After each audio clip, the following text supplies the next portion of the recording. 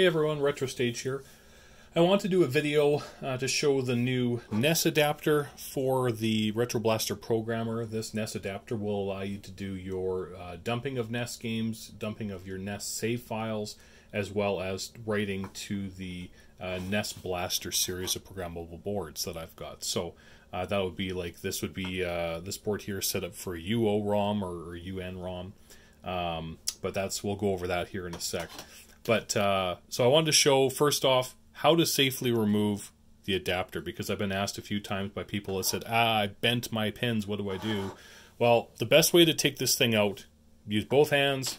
You're going to grab both uh, all four corners of the uh, programmer adapter, and you're just going to rock forwards and backwards a little bit until you loosen up. And you can see you can see the pins starting to show here.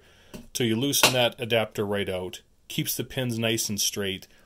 Um, this slot is supposed to be tight. It's it's going to be tight because it's supposed to hold the adapter in there properly, uh, so it doesn't just fly out all willy nilly. So, um, the first few times it's going to be a little bit more difficult to pull out, but again, four corners, rock back and forth, it will come out. So, um, any issues with that, you can always contact me through email. So the uh, we're trying to get set up for NES here. That'll be the first thing we'll go over with the new software. Uh, so I've just put the NES adapter in.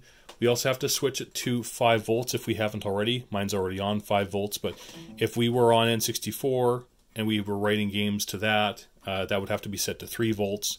NES is a 5 volt system, as well as Sega, Genesis, uh, Super Nintendo, and Game Boy, Game Boy Color. Those are all 5 volt systems. Uh, N64 and Game Boy Advance are both 3 volts. So we just make sure we're on the 5 volt setting. Now we're ready to go for NES. So putting your games in. So cartridge label should be facing towards the front of the programmer. So towards the Retro Blaster logo. Pop it in there. We're ready to go. So uh, now we're going to bring it over to the software side and we'll be able to show how uh, all of that stuff works.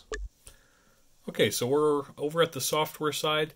Uh, you can see some changes have been made since the last Retro Blaster uh, release. Um, I've updated the user interface now to show uh, each console in its own tab versus having it um, in a drop-down box style, and that was just trying to clean up the user interface a bit. Um, a progress bar has also been added so you can see uh, that things haven't stalled. Uh, and that's the other thing is that the GUI now has got proper threading uh, in the background. So when you go to write a game, the user interface doesn't stall. It'll uh, continue going and you'll see your progress bar um, going ahead. So uh, Mario Brothers is a NROM game. So we want to dump it and uh, test it in, in an emulator. So what I like to do is pull open the NES cart database. So this is the BootGod uh, website, and I'll put the uh, website in my description. So what we did is I just looked up Mario Brothers, and I want to find out the contents of this game. So uh, mainly, the most important stuff is right here. So we want to find out the size. So when I go to dump the game, so let's come back to the software. I'm going to have these running together here. So, um, first off, we're going to select mapper type. So we're going to go, this is an NROM game, and we're going to click on dump. So from here, we just have to uh, just have to give it a name. So I'm going to go Mario Brothers.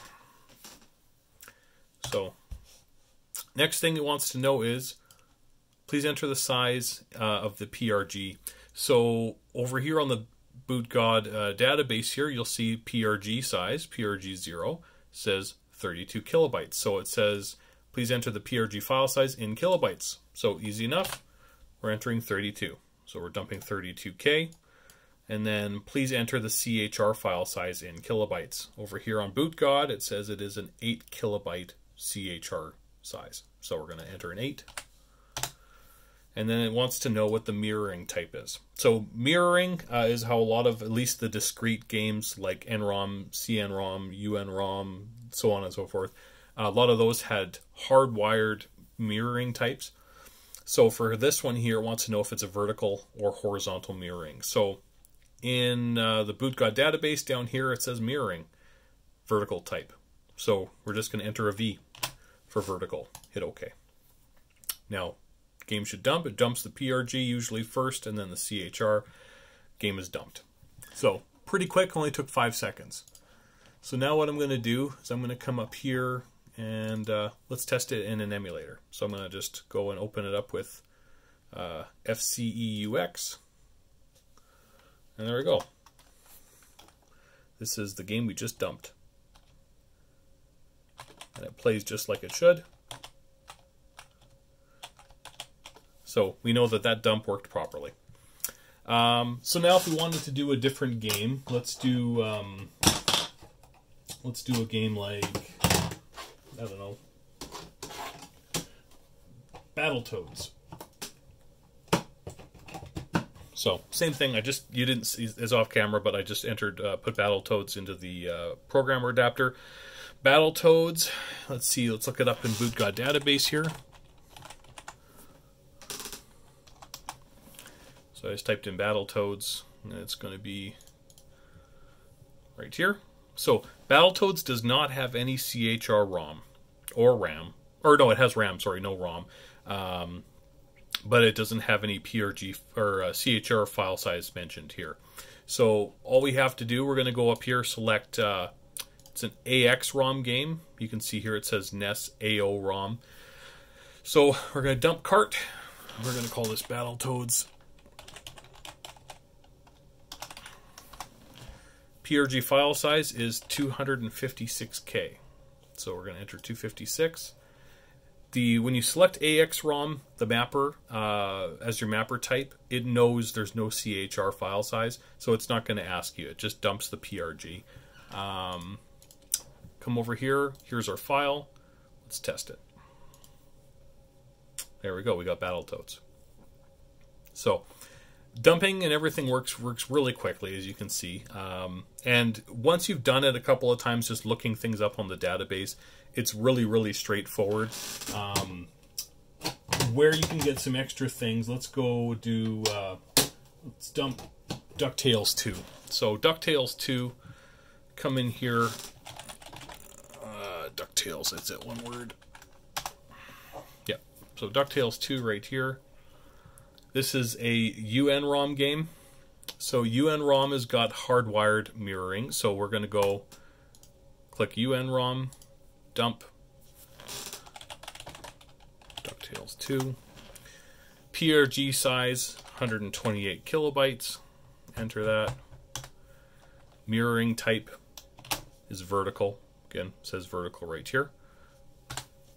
So it's going to dump that PRG file. Um, so this is most of the discrete mappers uh, already shown here. I haven't done CN-ROM, but that's it's the exact same process. Come in, select DuckTales, try it out. Works great. So we know that the dumping of all that works really, really well.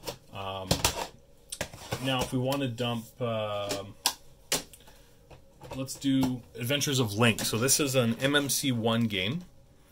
So I'm going to look it up here. We'll go... Uh, um, actually, I guess I could probably just type Zelda. Zelda 2. So, Adventures of Link. So we've got a PRG size of 128K, CHR size of 128K. Um, mirroring, you'll see it says mapper controlled, so we don't have to worry about setting the mirroring type. WRAM is the next section uh, to go over, and this is going to be what your save your save files are stored on. So it's got 8K of W RAM. So I'm going to come in here, select MMC1. We're going to dump the cart. We're going to go Zelda 2. It's got 128K PRG, 128K CHR. Now, something that uh, you may notice here, CHR file size, it's got CHR or enter a zero if the game uses CHR RAM. So if this was the original Legend of Zelda game, that game does not have a CHR ROM, it's got CHR RAM. So for that one, we would enter the file size for the PRG and zero for the CHR RAM. So um, this one here got CHR ROM, so it's going to dump 128K of that. Does this game use SRAM for battery backed saving? Yes or no? So this one does have SRAM, so we're going to enter Y for yes. And it's going to dump the PRG, dump the CHR. And again, it automatically does all that uh, all that uh, NES header stuff for us. So if I come in here and select the game, here we go. There's our uh, Zelda 2. Now, if I wanted to back up my save RAM, so let's uh, let's dump the save content. So I'm going to go Zelda 2, label it that. It automatically saves it as a .sav file, so this would be the same kind of save file most emulators would use. So the amount of SRAM was 8 kilobytes. We're going to dump that. Okay, PRG RAM's been dumped. And then you can see it's got our save file there. And you can open it up in a hex editor and check it out if you like. Um, but yeah, it's it's to be to be all in there. Um, let's see if I can play the save file. Yep, there we go. So that's just uh, whoever had this game before me. Um, that's the stuff right there. So that's my save dump. And uh, so that's that's really dumping. Like dumping is is uh, pretty much covered for that. Um, let's try to write a game. So let's do. We're gonna write Castlevania. To um, actually, let's write DuckTales 2 because we just we just dumped that game. So let's write DuckTales 2. So we're gonna. I just popped the uh, UN ROM programmer or the uh, NES Blaster into the programmer. So this is my UN ROM cartridge. So popped it in there. So I'm going to go over here, select UX ROM, and we're going to write to the NES Blaster. We're going to take DuckTales 2 and write that. So the uh, programmer automatically strips the header off. It reads the header contents to find out uh, how much the ROM size is, uh, if it has backup RAM or not, all that sort of stuff. And it does it all automatically. So there's no extra settings that have to be done. Um, it's just pretty much click and go. So now that I've dumped it, or uh, written it rather, so it's been written, let's pop it into the console, turn it on, and there's DuckTales 2. So really, really easy to write a game to these uh, NES blasters. Um, and that would work for uh, for pretty much any of these when they when they're uh, when they're released. Right now, the NES discrete blasters are the only ones that I've got on the website right now. Um, so again, your your discrete mappers. Um, the MMC1 and MMC3 boards are coming soon. Uh, really, they're just I'm just finishing the prototyping side of it, and then those are going to be up. So, um, other systems that we've got. So let's do um, let's cover some of the other systems. So I'm going to pop my Sega Genesis uh, adapter into the NES, uh, uh, Retro Blaster programmer here. And let's try to dump Sonic 2. So pop that into the programmer. And now for my different tabs here. So we're going to go over here to Sega Genesis. And you can see I've got, uh, it's got just a few options here write Sega Blaster, so the Sega Blasters will be coming out soon as well. Um, dump ROM or dump SRAM. Now there's also an option to override the ROM dump size. That's for um, so when the when you're dumping a game for Sega Genesis, I've got it set up so it reads the internal header of the game to see how large the game is supposed to be, and it dumps it based on that number.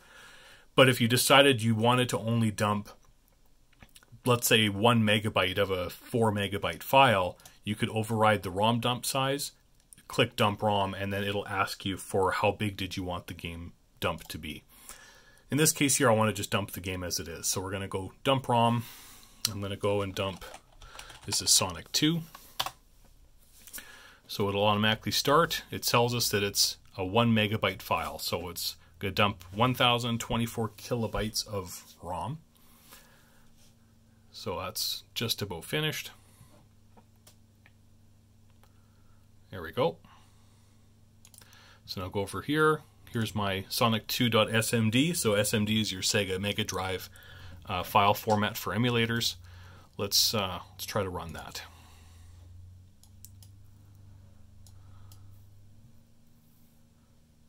Looks like it worked. So there's our game.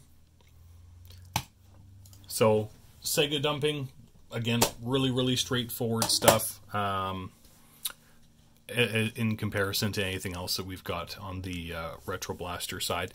Um, SNES, the tab is here, but it is not done yet. So right now, ROM dumping isn't working yet on the SNES. It's coming right away. Uh, Game Boy, the ROM dumping isn't working quite yet, but the SRAM and the writing to the Game Boy Blaster is working. Game Boy Advance is working. Um, I don't have the option for dumping the EEPROM data off of those games yet, or the Flash RAM or Flash ROM, sorry, but it uh, it'll do SRAM dumping and writing. So, um, and that Game Boy adapter is going to be coming here soon as well. So that's this guy. So I'll pop that into the programmer right now, and uh, let's do a test. Let's do. So I'm going to dump Metroid Zero Mission. So pop it into the programmer, so like that. Now Game Boy Advance again, it's a 3 volt system, so I'm going to change that switch to 3 volts. We're on the Game Boy Advance tab. Let's click on Dump ROM. So I'm going to go Metroid. Oops. Okay. Now it's going to enter, ask us for the size of the game. Um, if you don't know the size, then uh, there are databases that you can look up that information. There's also NES ROM or uh, Game Boy Advance ROM header uh, tools you can use, and I'll have those links in the description as well. But I believe this game is um, 8 megabytes, so we'll dump that. And I'll just pause the video for a sec to let that dump. Okay, so it's just about finished dumping here. And uh, once that's done, we can test out the game in an emulator, make sure that it works. Okay, so it took just under two minutes to dump the game. So let's come, uh, oops. Here's our Metroid Zero mission. We'll open that up. You can check it in a hex uh, a hex editor, and usually you'll see the uh, the name of the game here. So it says Zero Mission. Let's uh, open that with our emulator here. There we go. So that looks like it works fine. So, and then again, you can dump the SRAM for that as well. You can write the SRAM. Um, it's it's very very easy to use. There's no no uh, extra commands you have to put in. It's just click and name the file. So, not much else to go over there. Um, a couple other changes that have been made to the software is uh, the upgrade button has been removed.